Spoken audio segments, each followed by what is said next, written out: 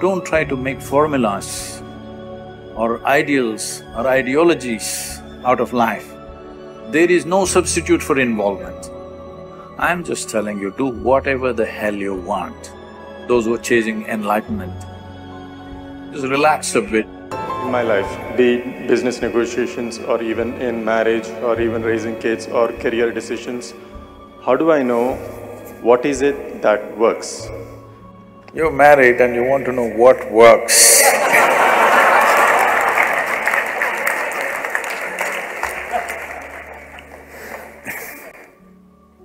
See, you must be like God, that you're a silent partner, then it works. Just like God. Whatever anybody does, learn to be like God. Never intervene in anything. Every day in the morning, every kind of idiot will tell you what you should do today. You just listen. Just like God.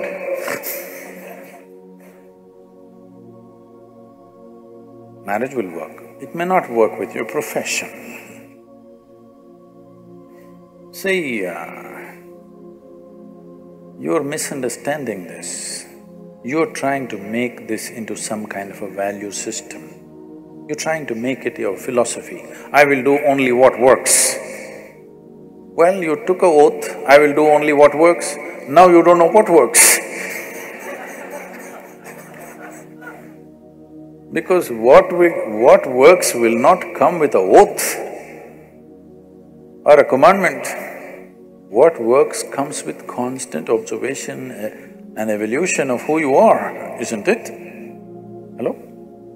The same things, how you made them work, how clumsily you made something work ten years ago, the same thing you may be doing it with ease today, isn't it so? Or you may be doing it clumsily today, you were doing it well at one time. Whichever way, whichever kind of evolution has happened. So, what works is not some kind of a formula.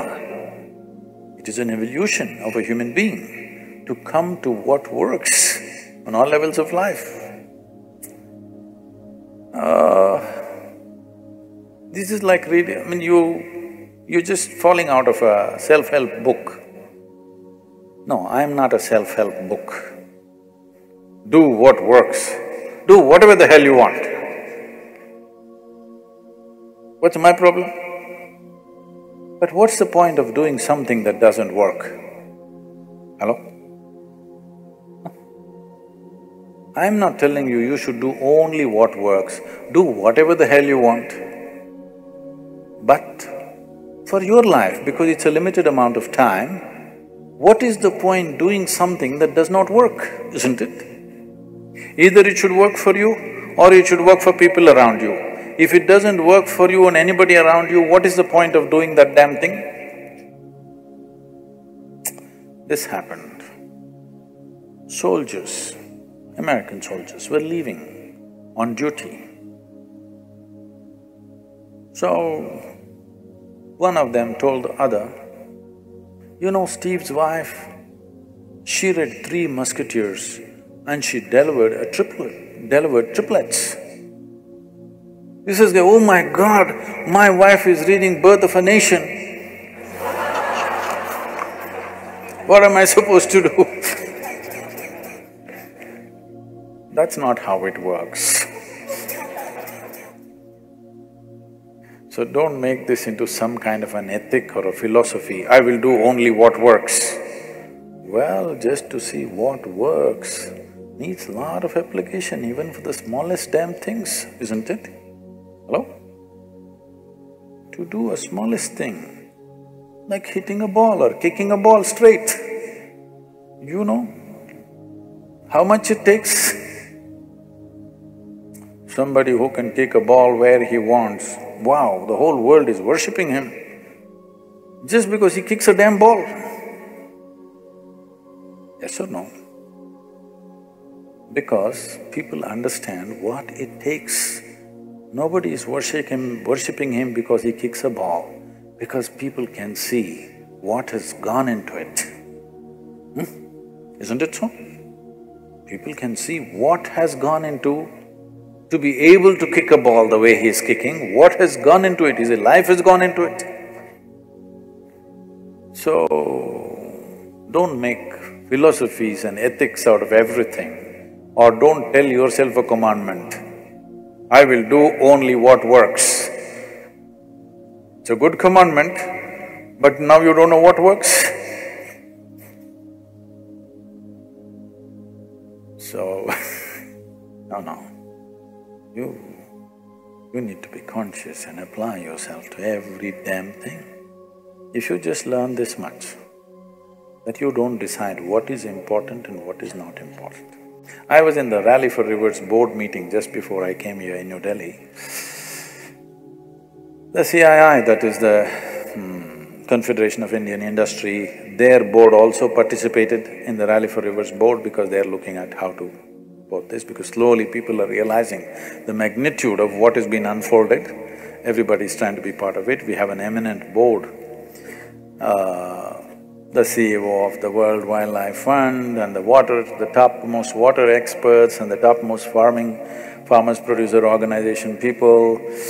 We have a, a judge from the Supreme Court and it's a very eminent board. As uh, this Cauvery calling project was being talked about and for every question, particularly certain experts had and they were asking, I was casually telling them what to do. They said, Sadhguru, how do you know all these things? I said, right from my early childhood, I just wandered around without any purpose. Without any purpose. Simply I wandered in the jungles, in the forests, in the rivers and this. But I paid absolute attention to every plant, every insect, the air, the moisture, the works and everything. What was aimless wonder today is becoming formidable knowledge that is not written in any damn book. For the first time, somebody is talking in a comprehensive way, not from a textbook. This was just aimless wonder. As a child, as a youth, just wandered around without any purpose. So even if it is purposeless, you can't live without attention, isn't it? Hello? So just do this one thing, stop discriminating what is important, what is not important. If you pay the same level of absolute attention to every damn thing, you will see that what is the right thing to do is a very natural process. But you have already decided what is important, what is not important, how will you evolve, what is the right thing to do? Half the world is already been given up because it's not important. You are paying attention, only you even look at somebody properly only if they are of something to you. No, I looked at everybody, absolutely. Every life every damn thing, every pebble, every moment that was happening in the earth, in the atmosphere, everything, not as a study, simply because I had eyes and I had an attention span. I paid attention to everything. Today they're saying this is something phenomenal. I was just laughing and saying, see, I just wandered aimlessly, everybody thought I'm just a vagabond. But now this aimless wandering has… is paying off in a huge way because it doesn't matter what the hell you're doing, small things are big things. If you are absolutely involved, absolutely, you will see, you will know what's the right thing to do. You trying to live here without involvement. This is why you have morals, you have ideals, you have ideologies, you have values, you have ethics, you have commandments, because you are trying to live here without involvement. You want ready-made formula. What is the right thing to do? Thou shall not, thou shall not, thou shall not. Did the world get fixed, I'm asking? Every goddamn school-going children knows what is the right thing to do. Has it worked? It's not worked because you think there is a substitute for involvement. There is no substitute for involvement. Where there is no involvement, there will be no life. So don't try to make formulas or ideals or ideologies out of life. All life takes is absolute involvement, unbridled involvement, not distinguishing who is who, what is what, just absolutely involved with everything that you're in touch with right now.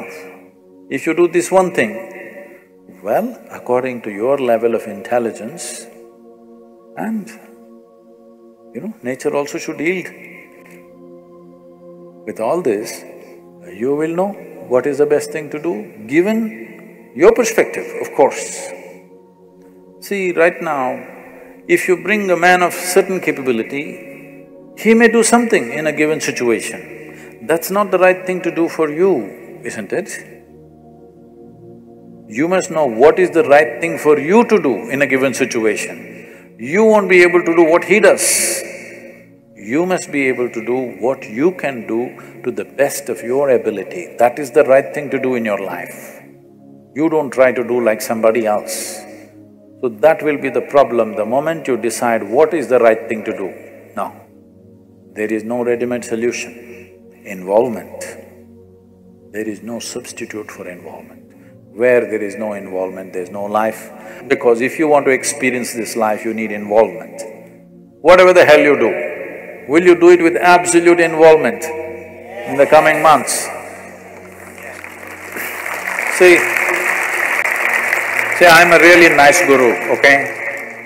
I'm a really nice guru. Because I'm not telling you, this is the thing to do. Everybody who came are always trying to tell you, this is the thing to do. I'm just telling you, do whatever the hell you want. Do it well. And that cannot be done without involvement, isn't it? Huh? Small things and big things. Will you do it with total involvement? How you wake up in the morning, total involvement. How you brush your teeth, total involvement. How you shit, total involvement. How you eat, total involvement. How you do your Shambhavi, total involvement everything that you do, you do not distinguish what is small, what is big. When I said shit, you said he he he. Okay, then don't do it.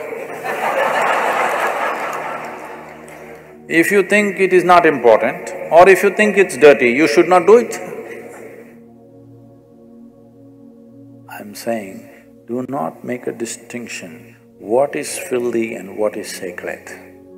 This is where the key is because involvement means unprejudiced inclusion also. The moment you say, this is sacred, this is filthy, can you involve with the filthy? Hello? You will be constipated.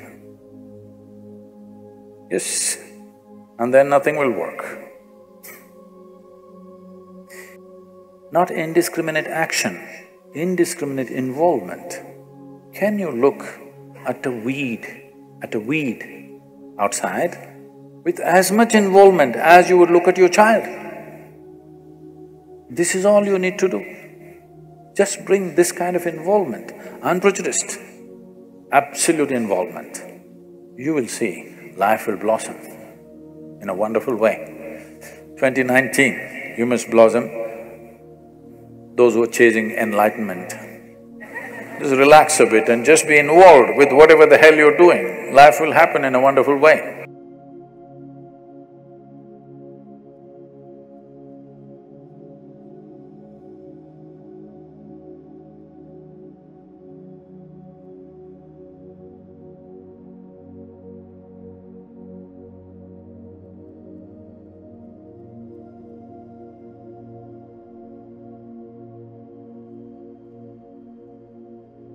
In this insightful discussion, Sadhguru delved deep into the intricate dynamics of decision making, shattering conventional notions of right and wrong, big and small. Through his profound wisdom, he illuminated the path to unlocking our innate ability to discern what truly matters in every circumstances. As we navigate the complexities of life, let us embrace the freedom that comes from transcending limitations and embracing clarity. Remember, this journey is all about tapping into boundless potential within each of us. Let us walk forward with confidence, knowing that within us lies the power to shape our destiny and chart our course amidst life ever changing currents. Thank you for joining in today's video, and I will see you in the next one. Namaskaram.